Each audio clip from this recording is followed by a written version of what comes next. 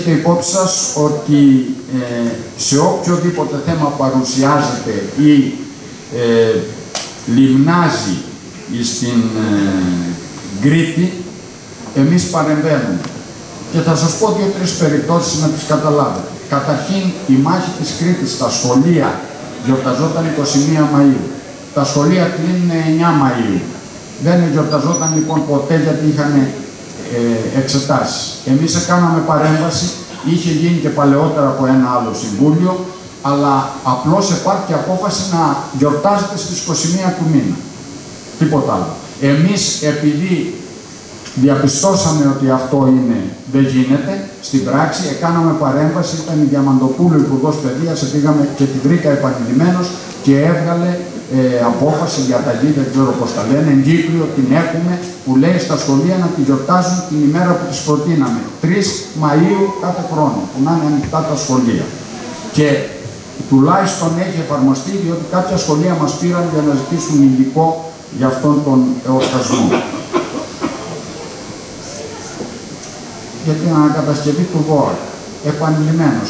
Έχουμε κάνει συγκέντρωση και στην Παγκρίτιο και παλαιότερα και έχουμε καλέσει όλους τους κρίτες βουλευτές κλπ.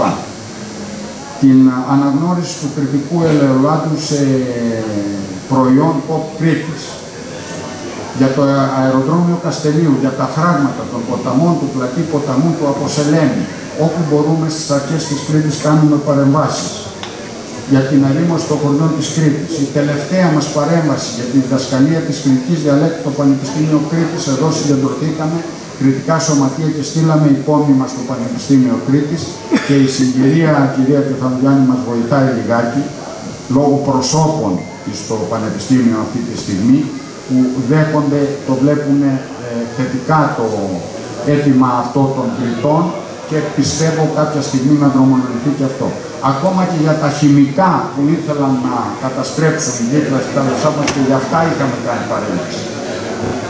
Ακούμε λοιπόν, ακούμε λοιπόν το τι υπάρχει την περιβαίουσα ατμόσφαιρα και παρεμβαίνουμε.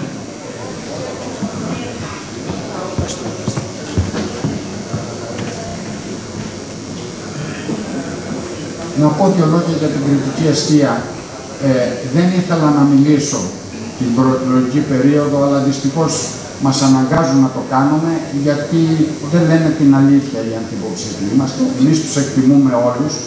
Έχω πει στους συνεργάτες μου να μην πούνε τίποτα, καμιά κακή κουβέντα για κανένα, να μην ανταποκριθούν σε προκλήσεις γιατί μας βρίζουν μέσω τύπου, μας λένε μικρούς, μας λένε αφελείς, μας λένε χειροστάσιο, είναι γραμμένα δεν απαντήσαμε πουθενά. Αυτά τους διακρίνουν αυτούς. Αλλά για την κριτική αιστεία δεν μπορώ να μην πω δύο λόγια. Εμείς ψηφίσαμε τον αντιποψήφιό μας αυτή τη στιγμή πρόεδρο στην κριτική αιστεία. Και τον ψηφίσαμε γιατί νομίζαμε ότι κάτι μπορούσε να κάνει τότε. Εβοηθήσαμε να βγουν τα χρήματα που ήταν σε εξέλιξη.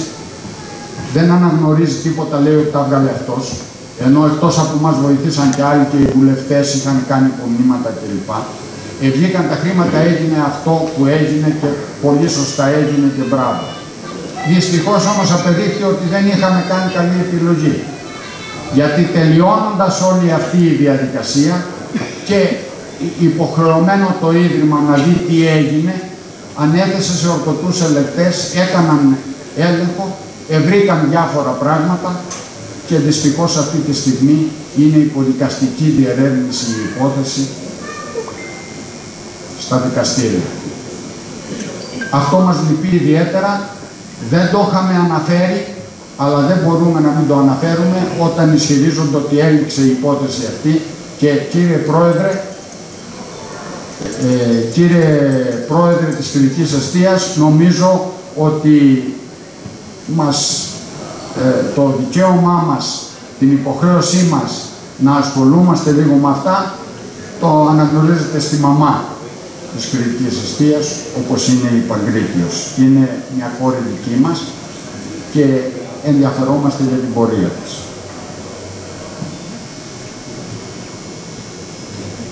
Να πω τώρα δύο λόγια για το τι προγραμματίζουμε να κάνουμε.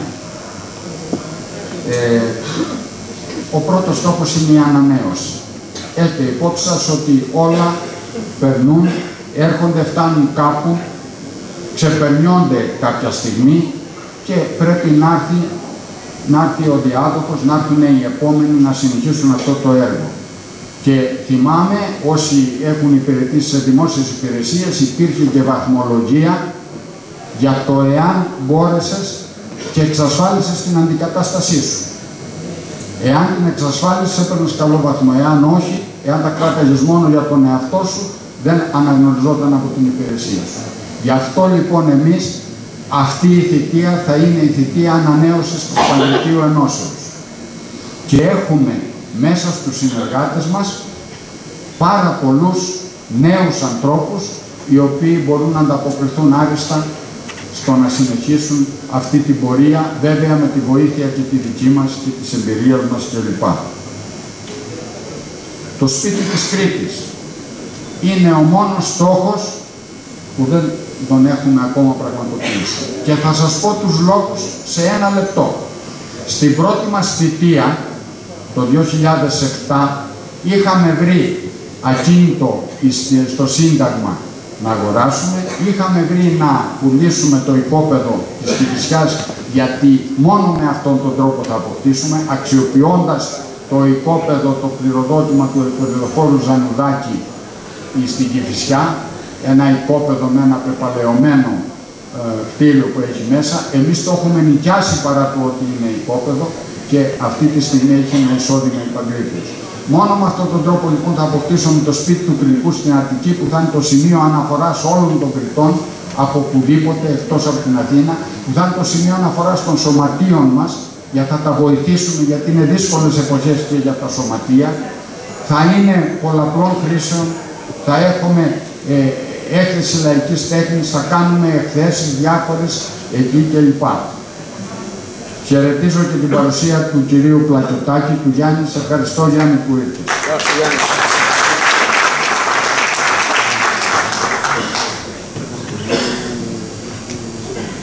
Την πρώτη λοιπόν θητεία, παρά το ότι τα είχαμε βρει αυτά όλα, δεν το πετύχαμε, διότι δεν είχαμε πλειοψηφία στο Διοικητικό Συμβούλιο.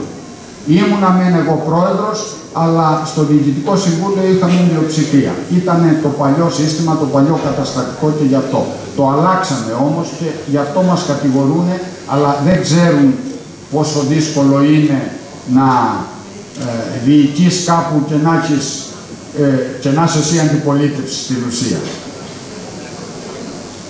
Τη δεύτερη θητεία ξεκίνησε η κρίση, η οικονομική κρίση.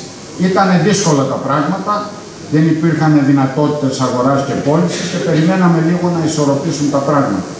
Στην τρίτη θητεία μας που είμαστε πάλι έτοιμοι να το κάνουμε. Δυστυχώς δεν μπορέσαμε γιατί μας είχαν πάει στο δικαστήριο, υπήρχε αγωγή εναντίον μας που μας κράτησε σε ομοιρία τρία και πλέον χρόνια και γι' αυτό δεν καταφέραμε να το κάνουμε. Αυτή τη φορά όμως δεν μας σταματάει τίποτα. Τελειώνοντας τη θητεία μας θα υπάρχει το σπίτι του κριτικού στην Αττική. Αυτό το υποσχόμαστε και εγώ και ο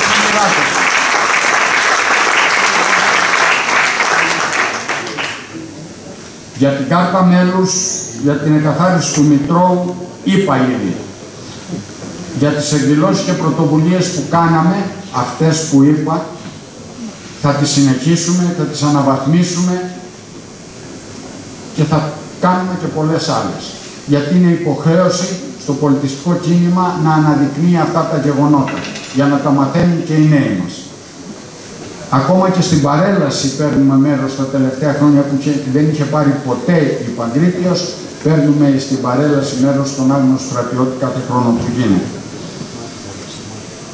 Επίσης είναι αυτονόητο ότι θα ενισχύσουμε και θα αναπτύξουμε το πνεύμα του συγκριτισμού.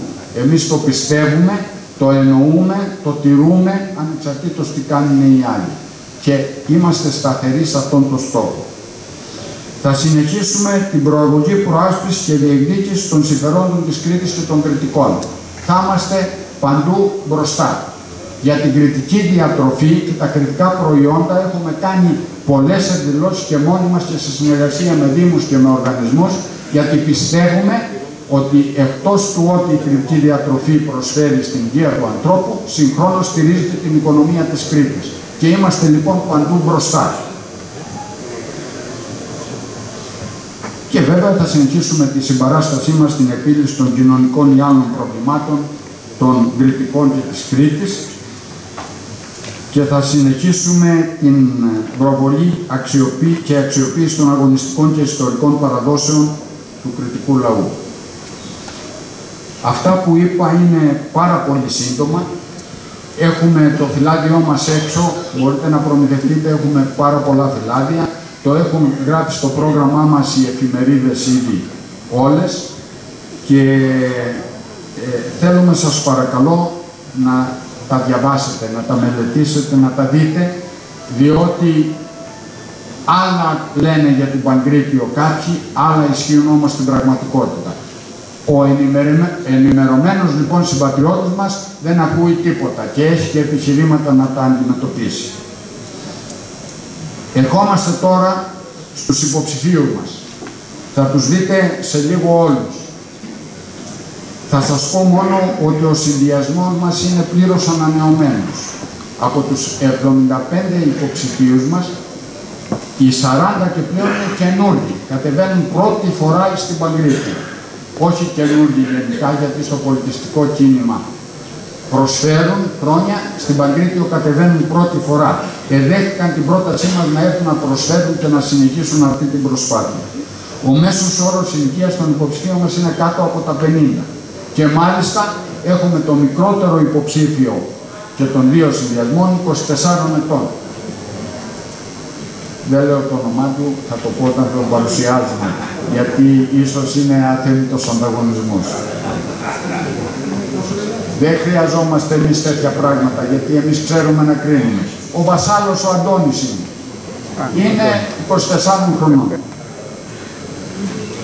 είναι όλοι αξιόλογα μέλη της κοινωνίας και της κριτικής μας κοινότητας και προέρχονται από όλες τις κατηγορίες, όλα τα επαγγέλματα, είναι όλοι επιτυχημένοι στο τομέα τους και θα τους δείτε μετά. Με όπλα, τη μέχρι τώρα θητεία μας στη διοίκηση της Παγκριτίου Ενώσεως, τα πεπραγμένα μας και το παρελθόν μας, έχοντας την εμπειρία το όραμα, τη θέληση και τη δύναμη για να πετύχουμε τους στόχους μας. Έχοντας στο πλευρό μας μια ανανεωμένη, ισχυρή και αποτελεσματική ομάδα συνεργατών που εγγυάται την υλοποίηση του οράματός μας. Έχοντας ένα παρελθόν ενέχειρο για το μέλλον. Σας καλώ όλους να προσέλθετε, να ψηφίσετε και να ενισχύσετε την υποψηφιότητά μας. Ξέρετε ότι εμάς η δυσκολία είναι να έρθουν τα μέλη μας και οι φίλοι μας να ψηφίσουν. Άμα τους πείσουν να έρθουν να ψηφίσουν, δεν έχουμε καμία ανάγκη. Εκεί θέλω τη βοήθειά σας όλων και των υποψηφίων βέβαια και των συνεργατών μου, αλλά και όλων των φίλων που είστε εδώ. Ο καθένας από εσά μπορεί να φέρει 10 ανθρώπους να έρθουν να ψηφίσουν. Εκτός βέβαια τους υποψηφίους. Τότε δεν έχουμε καμία ανάγκη. Είναι εφικτό να το κάνεις στον κύκλο. Με τη στήριξή σας λοιπόν όλοι μαζί θα πετύχουμε ένα καλύτερο αύριο για την Παγκρίτιο Ένωση και τους κριτικούς της Αττικής. Ένα καλύτερο αύριο για την Κρήτη μας. Η Κρήτη μας εμπνέει, η Παγκρίτιος μας ενώνει. Σας ευχαριστώ πολύ.